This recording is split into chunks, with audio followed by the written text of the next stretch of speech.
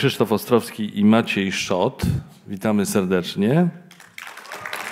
Prezes oraz wiceprezes Luxon LED, wrocławskiej firmy produkującej oświetlenie LED dla obiektów przemysłowych i handlowych, zbudowali od podstaw najszybciej rozwijający się biznes w branży, będący m.in. laureatem nagród Deloitte.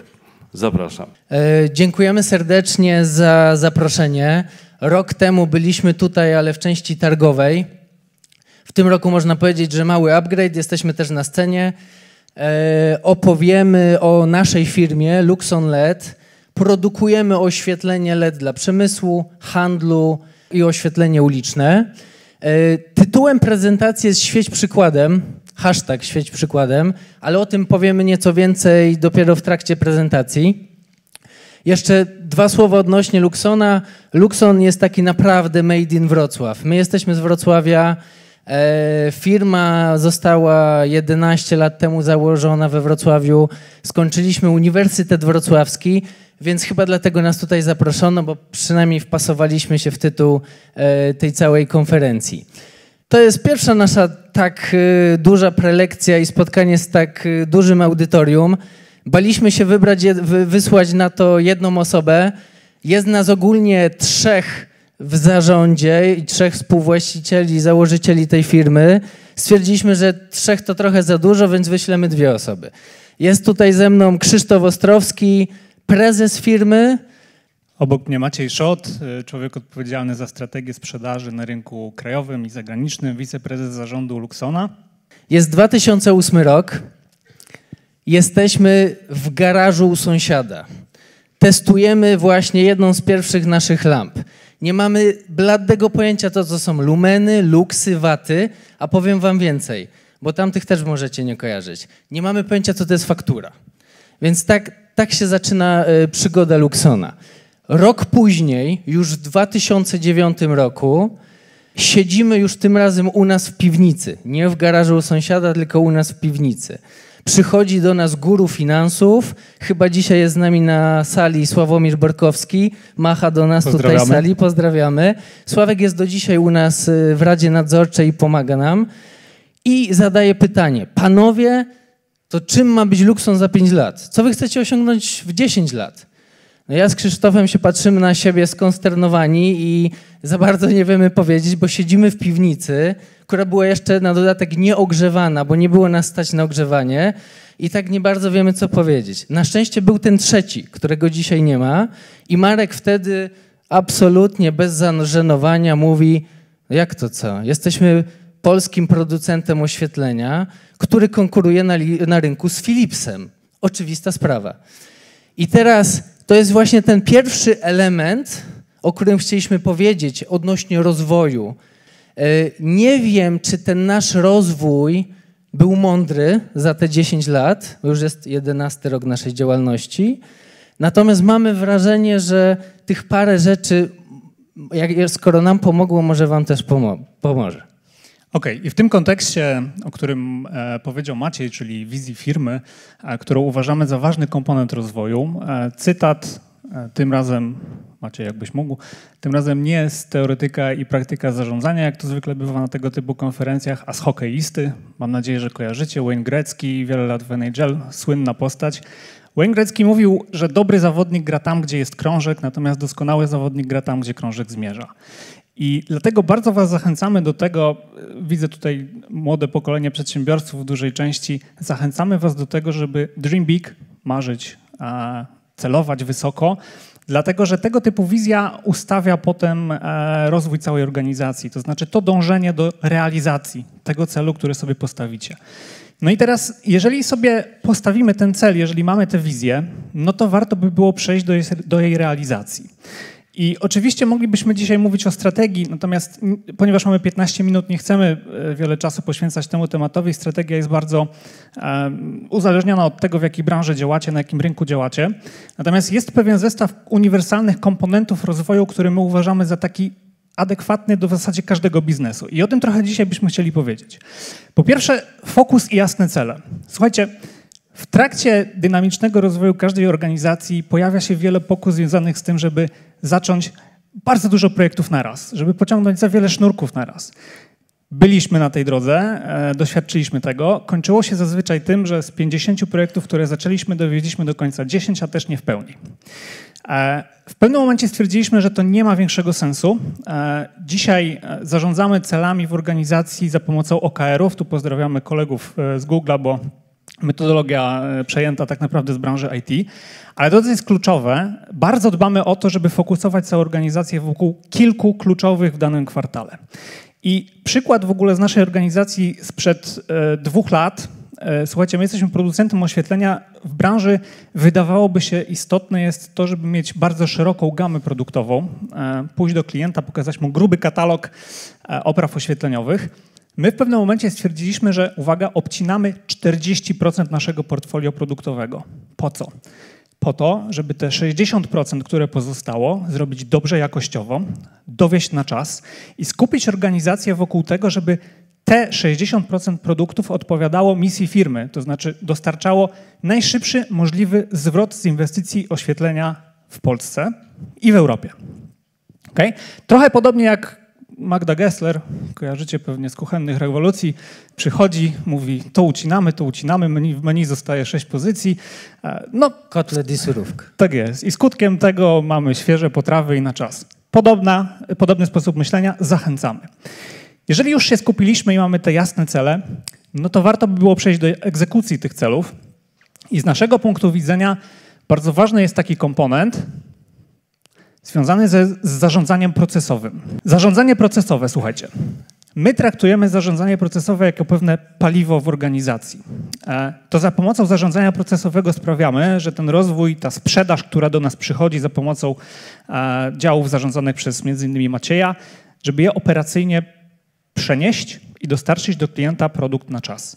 I z tego punktu widzenia istotne jest po pierwsze to, żeby mieć zdywersyfikowany zespół, to znaczy taki, w którym zarówno są ludzie odpowiedzialni za wizję i pomysły, ale też ci, którzy potrafią te pomysły zrealizować. To czasami bywają dwie zupełnie odrębne grupy ludzi. E, I po drugie, żeby podzielić całą działalność firmy na procesy, mierzyć te procesy, standaryzować te procesy, a w konsekwencji automatyzować te procesy. Tu się uśmiechnąłem, e, jak e, pan z Google'a powiedział a propos automatyzacji. E, ja jestem dużym fanem tych procesów i na każdej konferencji automatyzacyjnej zaczyna się od tego, że trzeba najpierw standaryzować i ułożyć proces, dopiero potem wchodzi w automatyzację. Dlatego zachęcamy bardzo do tego, bo bez tych kroków na samym początku zapewne nie będziecie w stanie tej automatyzacji wdrożyć. Kolejnym elementem, który jest dla nas istotny i ten akurat jest taki dosyć osobisty, przynajmniej przykład, o którym opowiem, jest dosyć osobisty. Dlatego chciałbym, żebyście y, nieco się skoncentrowali. Jak możecie coś zapisać, to właśnie jest ten moment. Tak, to jest komponent zapierdalania. Mamy jedenasty rok, jak już mówiłem, naszej działalności, natomiast przez te 10 lat wstecz naszej działalności wytrwałość i konsekwencja były niezwykle istotne. U nas w firmie został ukłuty taki cytat, ten co właśnie widzimy, już nie będę powtarzał, bo żeby tutaj nikogo nie obrazić. E, został on ukłuty przez nas, naszego dyrektora sprzedaży. On po prostu wchodził do firmy zawsze i mówił nowym pracownikom, panowie, no bez komponentu zapierdalania to tutaj naprawdę ciężko. Nie chcę nikogo zrazić e, i, i, i, nikomu jakby mówić o tym, że w Luxonie trzeba bardzo dużo pracować, natomiast chcemy powiedzieć o sobie. My przez te 10 lat naprawdę włożyliśmy bardzo dużo pracy. To było ponaście godzin e, dziennie, 5-6 dni w tygodniu przez te 10 lat. I co ciekawe, ostatnio tuż przed tą prezentacją sobie zerknąłem, to jest ta osobista część. Średnio my jako zarząd, jako właściciele, e, średnio miesięcznie wyszło nam za te 10 lat, że zarobiliśmy 2600 zł. Wy możecie sami ocenić, czy to dużo przez 10 lat średnio tyle miesięcznie zarabiać, czy mało. Natomiast, natomiast dla nas pokazuje to rzeczywiście być trzeba wytrwałym, żeby do tego 11 roku dotrwać yy, i tą konsekwencją się yy, wykazać, ponieważ no, dla nas nie zawsze były to łatwe sytuacje. Słuchajcie, kolejny komponent według nas e, uniwersalny dla wszelkich branż, a składający się na szybki, dynamiczny rozwój, to kultura oparta o wspólne wartości. Niewiele się mówi na konferencjach o takich miękkich aspektach biznesu, bardziej się skupiamy na tych technicznych, natomiast z naszego punktu widzenia Wprawdzie mówimy o tym na końcu, ale to chyba najważniejszy komponent. Kilka lat temu zrobiliśmy sobie takie ćwiczenie w zespole i jakkolwiek górnolotnie to może zabrzmieć, stworzyliśmy kodeks wartości i antywartości w firmie. Wartości, czyli tych elementów, które chcemy kultywować w zespole, które pozwalają nam szybciej ten zespół rozwijać. No i antywartości, czyli takich elementów, których ewidentnie w tym zespole nie chcemy, bo wpływają na niego destrukcyjnie. I to był taki moment przełomowy. Dzisiaj korzystamy z tego um, kodeksu w, w, trakcie rekrutacji, dlatego chcielibyśmy trochę ten temat rozwinąć. Spójrzcie, e, to jest część naszych wartości. One się fajnie rozwijają w napis Luxon powstały w trakcie warsztatu, który przeprowadziliśmy z naszym zespołem.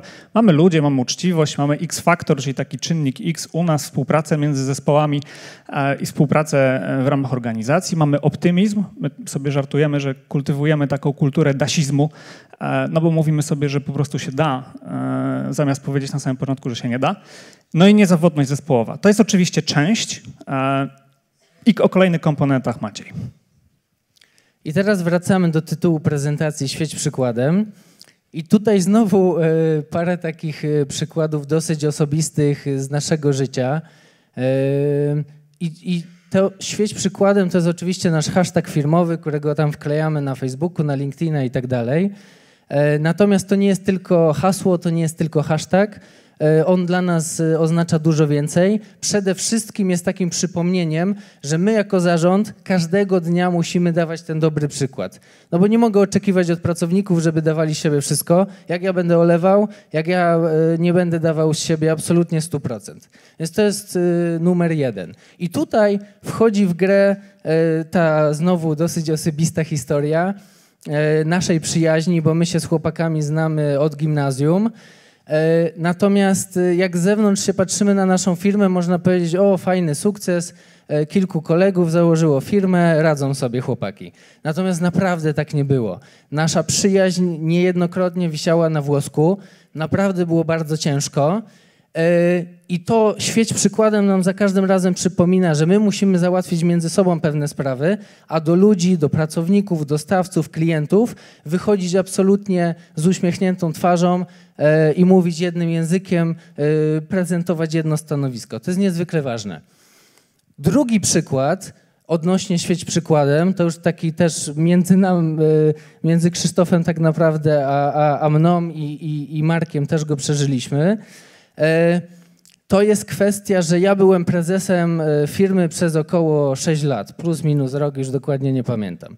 Natomiast w międzyczasie Krzysztof zbierał nowe kompetencje, bardzo szybko się rozwijał i po prostu był dużo lepszym menadżerem. I w trójkę stwierdziliśmy, ok, to Krzysztof teraz będzie szefem, zostanie prezesem, a ja w końcu się zajmę tym, co kocham, czyli sprzedaż i marketing. I tutaj jest taki e, przykład, żeby odstawić swoje ego na bok, żeby nie patrzeć się tylko na to, gdzie ja jestem i, i, i co to zna, dla mnie znaczy, a koniec końców i organizacja, i ja, i Krzysztof, wszyscy na tym zyskaliśmy. Więc to mamy, to jakby rozumiemy pod tym hashtagiem świeć przykładem. I pozostając e, w tym klimacie wartości, za chwileczkę zobaczycie na ekranie e, takie działanie matematyczne, jak widzicie, mnożenie. E, to są dwa komponenty, których my poszukujemy u osób, które chcemy zatrudnić do naszej firmy. Mm, zwracamy uwagę zarówno na postawę, jak i umiejętności. E, wiele lat temu nauczyliśmy się, że rekrutacja osoby tylko przez pryzmat umiejętności nie jest dobrym pomysłem tylko i wyłącznie wtedy, kiedy widzimy w kandydacie zarówno dobrą postawę, jak i umiejętności niezbędne na stanowisku, rekrutujemy. Jak widzicie, zresztą pewnie się orientujecie, jeżeli coś się pomnoży przez zero, no to na końcu mamy zero, dlatego ten przykład jest zilustrowany takim działaniem, na końcu 1 razy 1 to się równa 1. I teraz, jeżeli mamy te jedynki na pokładzie, zrekrutowaliśmy je, poświęciliśmy im czas na onboarding, na szkolenia, czyli te wszystkie elementy, które w dynamicznie rozwijającej się organizacji są niezwykle istotne, to po pierwsze dajmy im się rozwijać, czyli daj, dajmy im ścieżki kariery, dajmy im możliwość awansów wewnętrznych. I tu znowu przykład z naszej organizacji jest taki, że w gronie naszych dyrektorów są w zasadzie w 100% wychowankowie. To znaczy, to są takie osoby, które przychodziły do nas na niskie stanowiska operacyjne. E, dla przykładu, Michał, fakturujący swego czasu w naszej firmie, jest dzisiaj dyrektorem finansowym. E, Andrzej, który pracował na produkcji, jest dzisiaj dyrektorem operacyjnym. Michał, który przyszedł jako przedstawiciel handlowy na Dolny Śląsk, jest dzisiaj dyrektorem sprzedaży. E, to jest szalenie istotne, żeby dawać tym ludziom zarówno samodzielność, jak i możliwość rozwoju. I druga kwestia, jeżeli już mamy te jedynki na pokładzie, to się ich trzymajmy. E, kolejny przykład z naszej organizacji. E, no nie zawsze bywa fantastycznie. Tak? My już nie jesteśmy startupem, musimy rok do roku dowozić konkretną rentowność. E, w 2016 roku było z tym słabo, w pierwszej połowie roku. To był taki moment, kiedy, no, mówiąc wprost, była czkawka i zastanawialiśmy się, co z tym zrobić i jak wyprowadzić organizację na właściwe tory. Podejmowaliśmy trudne decyzje zarządcze. One się wtedy wiązały też ze zwolnieniami. Mm, zwolniliśmy m.in. Gosię, ówczesnego HR Business partnera naszej organizacji. Gosia była jedynką. To znaczy refleksja u nas powstała szybko, że jeżeli w takich momentach zwalniamy najlepszych ludzi, to, to, to chyba nie jest dobry kierunek. Na drugi dzień, słuchajcie, yy, naprawiliśmy ten błąd yy, i oczywiście duże tutaj brawa dla Gosi, jestem z niej dumny, bo zaufała nam ponownie i jest dzisiaj z nami i napędza nasz HR yy, do dzisiaj. Natomiast lekcja jest taka, nie rezygnujcie z dobrych ludzi, dawajcie im się rozwijać, to się po prostu opłaci, bo dzięki temu wbudujecie też taki ciągły rozwój i doskonalenia we własną organizację. No i słuchajcie, powiedzieliśmy o e, wizji, powiedzieliśmy o czterech komponentach według nas mądrego rozwoju. Trochę, mam nadzieję, wpisując się w ten panel rozwojowy, bo, bo, bo była mowa o innowacji. Jeżeli ma się te innowacje, no to trzeba tak skonstruować firmę, żeby z niej skorzystać biznesowo. Mówiliśmy o fokusie, jasnych celach, mówiliśmy o zarządzaniu procesowym, o wytrwałości i konsekwencjach. konsekwencji, mówiliśmy o kulturze opartej o wspólne wartości. No i teraz y, mogłoby takie pytanie od Was paść, dobra, ale ja sprawdzam, to znaczy jaki jest efekt tego w waszej organizacji, że wy w ten sposób postępujecie i takie komponenty wykorzystujecie e, we własnej organizacji. No i o tym troszeczkę Maciej. E, widzimy tutaj nasze przychody, trochę cyferek dla ludzi, którzy lubią. E, w 2012 mieliśmy milion sześćset e, przychodu, rok wcześniej mieliśmy 300 tysięcy, więc to gdzieś już nam uciekło, nie zmieściło się na ekranie. W tym roku zrealizujemy nasz plan budżetowy, czyli 29 milionów złotych przychodu. Oczywiście to nic w porównaniu do Google'a, Mondeleza i tak dalej. Natomiast jak na nasze skromne progi firmy Luxon jesteśmy dosyć zadowoleni z tych planów. Tym bardziej, że to, co tutaj widzicie, to 6 lat temu pokazywaliśmy inwestorowi, że tyle zrealizujemy i rzeczywiście tyle zrealizowaliśmy. Z tego jesteśmy dumni.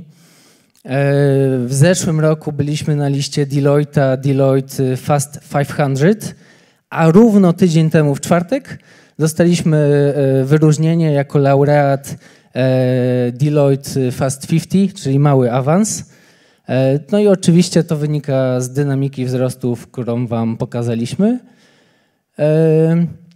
I jesteśmy na ukończeniu naszej nowej hali, naszej nowej siedziby, biuro, e, dział RD oraz produkcja. Pod Wrocławiem oczywiście? Pod Wrocławiem i to super. Autobus miejski dojeżdża 400 metrów od naszej nowej siedziby, więc bardzo się cieszymy, że e, nie jest to aż tak daleko od Wrocławia. Cały czas utrzymujemy ten komponent Made in Wrocław. E, serdecznie dziękujemy Wam za, za to spotkanie. E, ja przed przyjściem dzisiaj tutaj dostałem taką informację od naszego menadżera marketingu, a jest większy ode mnie i taki bardzo ma silną perswazję. I powiedział: Maciej, jak przyjdziesz i nie będę miał nowych followersów na LinkedInie, Facebooku i YouTubie, to będę musiał z Tobą poważnie porozmawiać. Więc jeżeli Wam się podobała ta prezentacja, wyjmijcie telefony, polubcie, pofollowersujcie LuxOnLED. Ratujcie Maćka. I gdybyście chcieli z nami pogadać, jesteśmy po tej prezentacji w kuluarach. Y, możecie podejść, zapytać się o, o co macie ochotę. Dzięki wielkie. Dzięki serdeczne.